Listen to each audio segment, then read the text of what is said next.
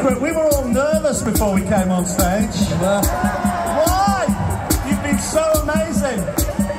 Okay, can you give us another three minutes